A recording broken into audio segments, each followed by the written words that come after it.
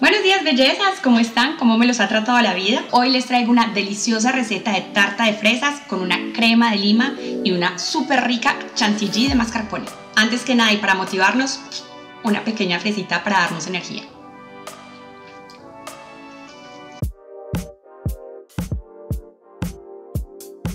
Para nuestra masa vamos a mezclar la mantequilla a temperatura ambiente con el azúcar impalpable y las almendras en polvo hasta obtener una crema.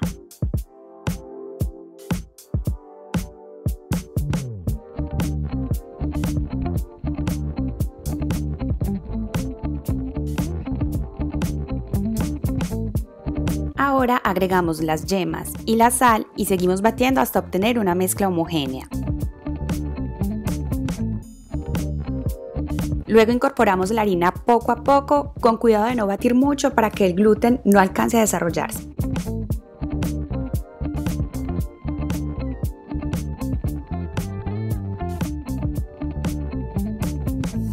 Terminamos de amasar con nuestras manos.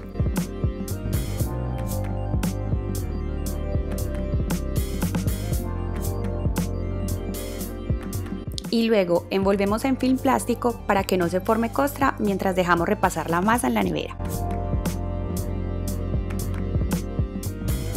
Con la ayuda de un rodillo vamos a estirar nuestra masa.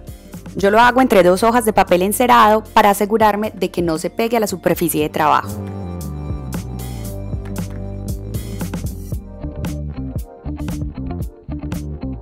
Estiramos hasta obtener un disco del diámetro de nuestro molde y dejamos reposar nuevamente en la nevera.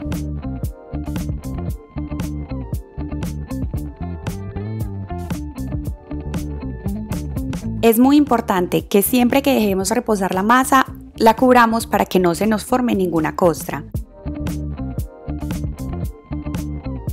Vamos a forrar el molde con la masa. Con la ayuda de un tenedor pinchamos el fondo y los bordes. Luego cubrimos con un papel encerado y añadimos un puñado de frijoles crudos para evitar que la masa se infle durante el horneado.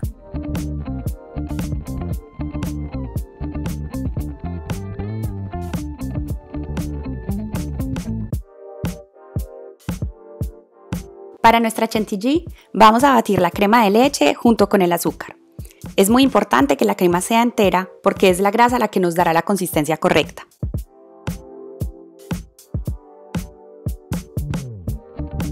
Batimos hasta obtener esta consistencia, no la queremos muy firme. A continuación, agregamos el queso mascarpone poco a poco con la ayuda de una espátula y realizando movimientos envolventes.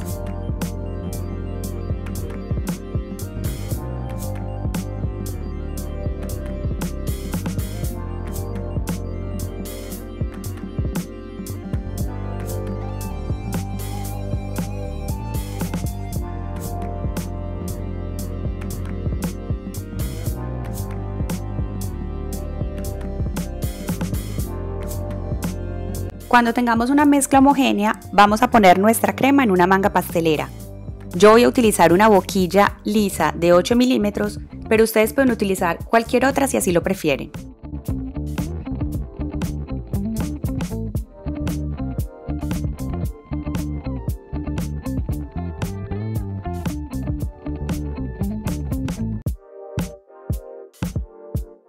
Para la crema de lima vamos a mezclar nuestros huevos con el azúcar y la ralladura de una lima.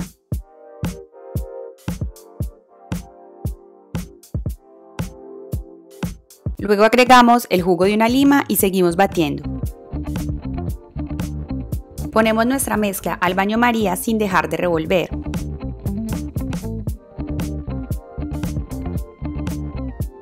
La cocción tarda cerca de 10 minutos y al final obtenemos una crema.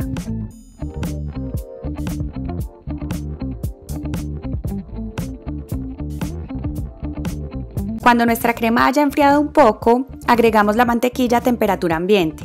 Mezclamos un poco con la ayuda de un globo y luego terminaremos con una batidora de mano.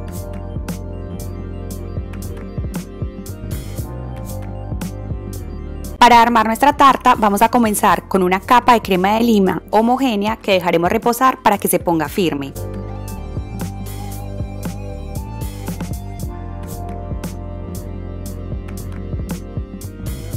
Y ahora sí dejamos volar nuestra creatividad para disponer las fresas y la crema chantilly.